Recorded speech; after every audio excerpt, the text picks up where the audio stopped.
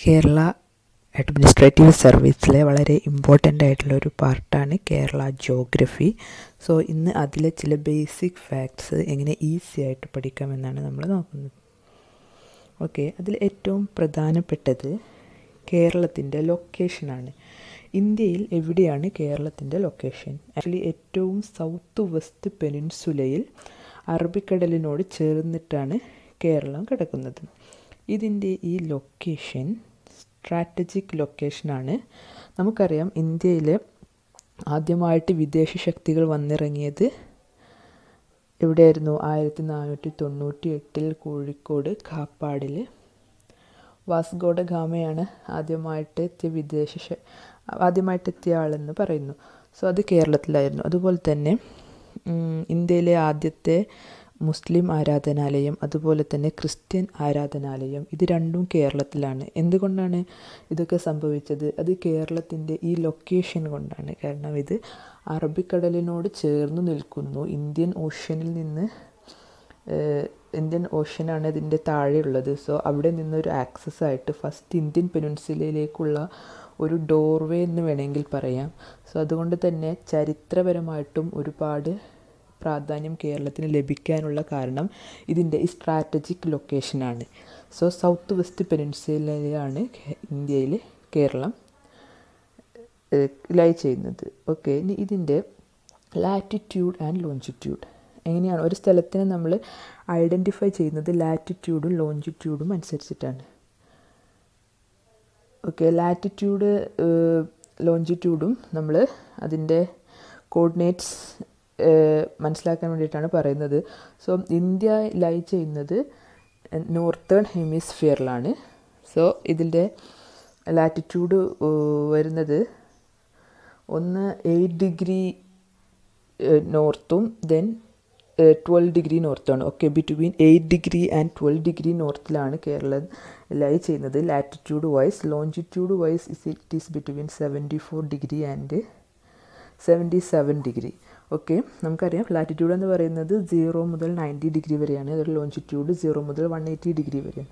So അതിൽ eight ഡിഗ്രിക്കും twelve ഡിഗ്രിക്കും അതായത് സീറോ ഡിഗ്രി റെപ്രസെന്റ് ചെയ്യുന്നത് ഇക്വറ്റോറിയൽ ലൈനെ ആണെങ്കിൽ എയ്റ്റ് ഡിഗ്രി ട്വൽവ് ഡിഗ്രി എന്ന് പറയുന്നത് ക്ലോസ് ടു സീറോ ആണ്. സോ ട്രോപ്പിക്കൽ റീജിയനിലാണ് കേരളം ലൈ ചെയ്യുന്നത്. ഇതിന്റെ യുണീക്കായ ക്ലൈമറ്റിനും ഇവിടുത്തെ അഗ്രികൾച്ചറിനും ഒക്കെ കാരണം ഈ ട്രോപ്പിക്കൽ ക്ലൈമറ്റാണ് അതുപോലെ തന്നെ ഇതിന്റെ യുണീക്കായ ജോഗ്രഫിയും ഇവിടുത്തെ സ്പെഷ്യൽ ക്ലൈമറ്റിന് ഒരു കാരണമാണ്.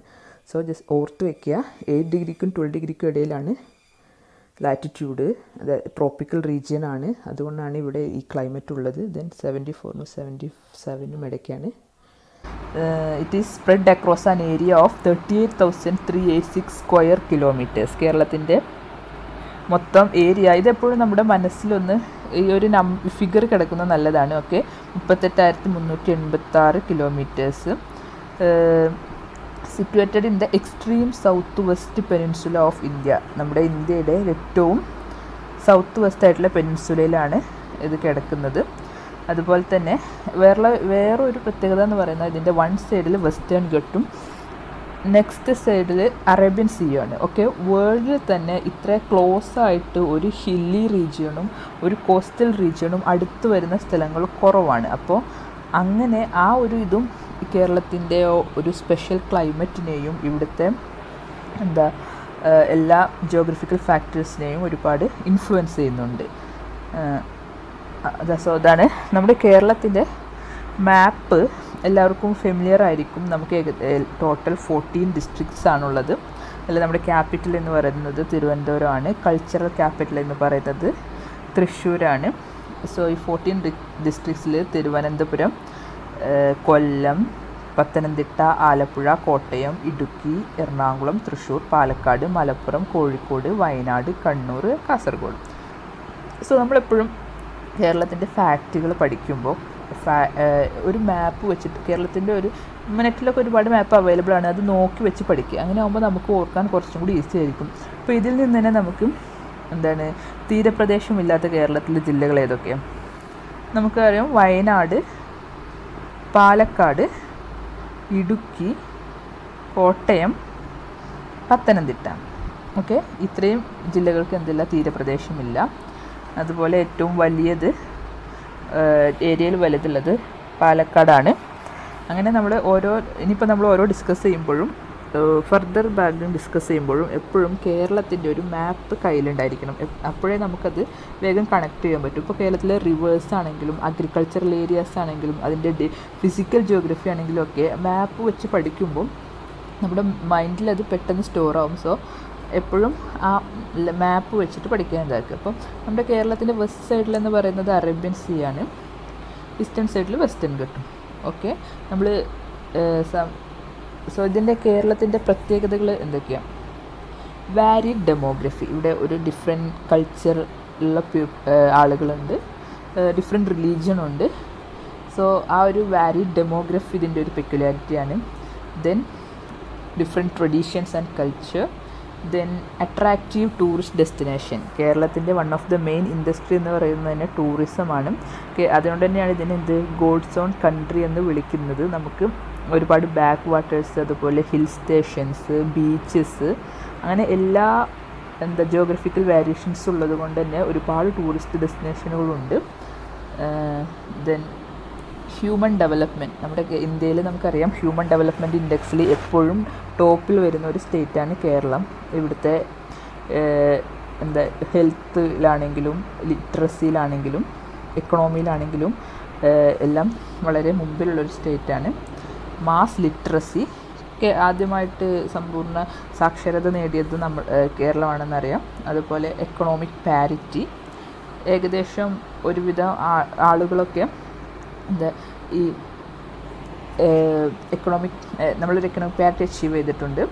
Then woman empowerment woman empowered compare to other state harmony between religion ഇവിടെ കേരളത്തിൽ ഒരു ആയിട്ടുള്ള എന്താ വർഗീയ കലാപങ്ങളോ അങ്ങനത്തെ പ്രശ്നങ്ങളൊന്നും ഉണ്ടായിട്ടില്ല. ഒരു നല്ല ഹാർമണി ഉണ്ട്. അതും ഇവിടുത്തെ സോഷ്യോ എക്കണോമിക് ഡെവലപ്മെന്റിന് ഒരു കാരണമാണ്. Okay progressive and liberal mind set of people so these are the some important features of Kerala നമ്മുടെ ഇത് ആക്ച്വലി ജോഗ്രഫി എന്ന് പറയുന്ന ഫിസിക്കൽ ജോഗ്രഫിയിലേക്കാളും ഹ്യൂമൻ ജോഗ്രഫിയിൽ ഇമ്പോർട്ടന്റ് ആയ കുറച്ച് ഫാക്റ്റുകളാണത് നമ്മുടെ ആളുകളെന്ന് പറയുന്നതും ഈ ഒരു because of this geographical features ആളുകളുടെ ക്യാരക്ടറും പെക്കുലിയർ ആണ്. ഓക്കെ സോ നമ്മൾ next we are moving on to Kerala physical map കേരളത്തിനെ നമുക്കറിയാം എന്തായിട്ട് മൂന്നായിട്ട് തരംതിരിച്ചിട്ടുണ്ട്. Eastern highlands central midland and western coastal plain ഇപ്പോൾ മലയാളത്തിൽ മലനാട് ഇടനാട് തീരപ്രദേശം എന്നിങ്ങനെ മൂന്നായിട്ട് തിരിച്ചിട്ടുണ്ട്. ഈ മാപ്പിൽ നമുക്ക് നോക്കിയാൽ കാണാൻ പറ്റും ഏറ്റവും മൂവായിരം മീറ്ററിലും കൂടുതൽ ഹൈറ്റുള്ള സ്ഥലങ്ങൾ അത് അത് അത് തൊട്ട് സീ ലെവൽ വരെയുള്ള places. You can see so ഇതിൽ തന്നെ ഈ സീ ലെവൽ അടു ആയിട്ടാണ് പിന്നെ ലക്ഷദ്വീപ് സീ അതായത് അറേ ഇന്ത്യൻ ഓഷ്യനാണ് താഴെയുള്ളത്. ലക്ഷദ്വീപ് എന്ന് പറയുന്നതും നമുക്കറിയാം കേരളത്തിൽ നിന്ന് കുറച്ച് അകലെയുള്ള ഒരു ദ്വീപ് സമൂഹമാണ്. സോ ഈ ഫിസിക്കൽ മാപ്പിൽ യു ക്യാൻ സീ നമ്മുടെ ഇന്ത്യയുടെ വെസ്റ്റേൺ കോസ്റ്റിനെ നമ്മൾ ഡിഫറെന്റ് ആയിട്ട് തിരിച്ചിട്ടുണ്ട്. അതിൽ കേരള അടങ്ങുന്ന കോസ്റ്റിനെ പറയുന്ന പേരാണ് മലബാർ കോസ്റ്റ് ഓക്കെ കേരളത്തിന്റെ ടോട്ടൽ കോസ്റ്റ് ലെങ്ത് എന്ന് പറയുന്നത് ഫൈവ് എയ്റ്റി കിലോമീറ്റേഴ്സാണ് ഇതിൽ തന്നെ ഒരുപാട് ബീച്ചസ് ഉണ്ട്. ഇന്ത്യയിൽ തന്നെ ആദ്യത്തെ തുറമുഖങ്ങളിലൊന്നായിരുന്നു മുസിരിസ്. അത് കേരളത്തിന്റെ കൊടുങ്ങല്ലൂർ എന്ന സ്ഥലത്തായിരുന്നു.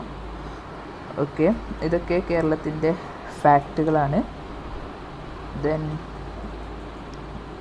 total area of Kerala എന്ന് പറയുന്നത് ഞാൻ ഓൾറെഡി പറഞ്ഞതുപോലെ one point one eight percentage of total land mass of ഇന്ത്യയാണ് then entire area measures up to around thirty eight eight six three square kilometre there are fourteen districts so നമ്മളിനി ഈ total ഏരിയയിന്റെ ഒരു division പഠിക്കുകയാണ്. So land under forest എന്ന് പറയുന്നത് nine thousand four hundred square kilometre ആണ് wet lands എന്ന് പറയുന്നത് one nine four one square kilometres ആണ്. Then cultivated area two point two nine two million hectares ഇങ്ങനെയാണ് നമ്മൾ ആ ഏരിയനെ ഡിവൈഡ് ചെയ്തിട്ടുള്ളത്. ഓക്കെ നൗ നമ്മൾ we are talking about the coastal length of Kerala is around uh, 580 kilometers. So width of Kerala ranges between 35 to 120 kilometre Okay. ചില സ്ഥലങ്ങളിൽ width of Kerala എന്ന് പറയുന്നത് വെറും മുപ്പത്തഞ്ച് കിലോമീറ്റർ ആണ്. ബട്ട് ചില സ്ഥലത്ത് അത് നൂറ്റി ഇരുപത് കിലോമീറ്റർ വരെ എക്സ്റ്റെൻഡ് ചെയ്യുന്നുണ്ട്. സോ ഇങ്ങനെ ഒരു എന്താ പറയുക വിഡ്ത്ത് കൂടിയും കുറഞ്ഞിരിക്കുന്ന ഒരു പ്രദേശമാണ്.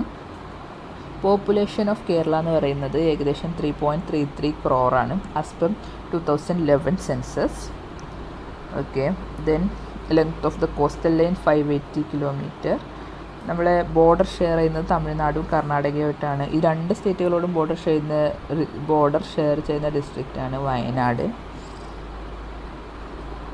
Total area under forest എന്ന് പറയുന്നത് eleven thousand hundred and twenty five square kilometre ആണ്. ഫോ നമ്മുടെ മെജോറിറ്റി ഏരിയ ഓഫ് കവർ ചെയ്തിട്ടുണ്ട് ഫോറസ്റ്റ് ഗോഡ്സ് ഓൺ കൺട്രി നമ്മുടെ കേരളത്തിനുള്ള കുറച്ച് വിശേഷണങ്ങളാണ് God's own country then spice garden of India എന്തുകൊണ്ടാണ് സ്പൈസ് ഗാർഡൻ ഓഫ് ഇന്ത്യ എന്ന് പറയുന്നത്? നമുക്ക് അറിയാം കേരളത്തിൽ തന്നെ ഇവിടുത്തെ വിദേശ ശക്തികളെ ഏറ്റവും കൂടുതൽ ആകർഷിച്ച ഒരു സംഭവം എന്ന് പറയുന്നത് ഇവിടുത്തെ സ്പൈസസ് ആണ്. ഓക്കെ ഇപ്പം നമ്മുടെ മലപ്രദേശങ്ങളിലൊക്കെ ഒരുപാട് സ്പൈസസ് കൃഷി ചെയ്യുന്നുണ്ട്. അതിന് ഫേവറായിട്ടുള്ള ക്ലൈമറ്റാണ് നമ്മുടെ ഇതിൽ. നമ്മുടെ സ്പൈസസ് ഒരുപാട് വൻതോതിൽ കയറ്റി വയ്ക്കപ്പെടുന്നുണ്ട്. പുറത്തെല്ലാം നല്ല ഡിമാൻഡുള്ള ഒരു സാധനമാണ്. സോ ഇത്രയധികം സ്പൈസസ് ഉള്ളതുകൊണ്ട് തന്നെ സ്പൈസ് ഗാർഡൻ ഓഫ് ഇന്ത്യ എന്നാണ് നമ്മൾ അറിയപ്പെടുന്നത്. പിന്നെ land of lagoons and back waters കേരളത്തിന്റെ തന്നെ സ്പെഷ്യാലിറ്റി ആയിട്ട് പറയുന്നതാണ്. ഒരുപാട് ബാക്ക് വാട്ടേഴ്സ് ഉണ്ട് നമ്മുടെ എന്താ വെസ്റ്റേൺ കോസ്റ്റിലെ ഇതായിട്ട് നമ്മുടെ സ്പെഷ്യൽ ആ ഒരു ഹില്ലി റീജിയണിൽ നിന്ന് ഒരു സഡൻ ചേഞ്ച് സീ പ്ലെയിനിലേക്ക് വരുന്നതുകൊണ്ടുള്ള സഡൻ ചേഞ്ച് കൊണ്ട് ഉണ്ടാകുന്നത് കൊണ്ട് തന്നെ ഒരുപാട് ബാക്ക് വാട്ടേഴ്സ് ഉണ്ട് ഒരുപാട് ലഗൂൺസും ഉണ്ട്. Then political laboratory of India എന്നും കേരളത്തിനെ പറയാറുണ്ട്. കാരണം ഇവിടെയാണ് ഒരുപാട് പൊളിറ്റിക്കൽ എക്സ്പെരിമെന്റ് നടന്നിട്ടുള്ള ഒരു സ്റ്റേറ്റാണ് so these are the some important factors about Kerala then physical features of Kerala എന്ന് പറയുന്നത് ആസ് ഐ ഓൾറെഡി ടോൾ മൂന്നായിട്ട് ഡിവൈഡ് ചെയ്തിട്ടുണ്ട്. Eastern highlands central midlands and western coastal plain so ഈ ഈസ്റ്റേൺ ഹൈലാൻഡ്സിൽ എന്താണ് നമ്മുടെ ഈ മലനാട് എന്ന് പറയുന്ന ഏരിയ അവിടെ ഒരുപാട് ഹിൽ സ്റ്റേഷനുകളുണ്ട് അതിൽ തന്നെ പ്രധാനപ്പെട്ട ഒരു നമ്മൾ നോട്ട് ചെയ്യേണ്ട ഒരു കാര്യമാണ് പാലക്കാട് ഗ്യാപ്പ് എന്ന് പറയുന്നത്. ഈ സെൻട്രൽ മിഡ്ലാൻഡ്സിലാണ് കൂടുതലും എന്താ കൾട്ടിവേഷനുകൾ അങ്ങനത്തെ നടക്കുന്നത്. വെസ്റ്റേൺ കോസ്റ്റൽ പ്ലെയിനിലും അത്യാവശ്യം കൾട്ടിവേഷനുകളൊക്കെ ഉണ്ട്. അതുപോലെ ബീച്ചസ് ഉണ്ട്. നമ്മളുടെ എന്താണ് അതിനൊരു അതിന്റേതായ കുറേ പെക്യുലാരിറ്റീസ് ഉണ്ട്. സോ ഈ മൂന്നൊന്നും ഡിഫറെന്റായിട്ട് നമ്മൾ ഡീറ്റെയിൽ ആയിട്ട് പഠിക്കണം. അപ്പോഴേ അതിന്റെ ആ ഒരു ഫിസിക്കൽ ഫീച്ചേഴ്സ് നമുക്ക് അണ്ടർസ്റ്റാൻഡ് ചെയ്യുള്ളൂ. സോ ഇതിനെക്കുറിച്ച് കൂടുതൽ നെക്സ്റ്റ് വീഡിയോയിൽ നമുക്ക് ഡിസ്കസ് ചെയ്യാം. Okay thank you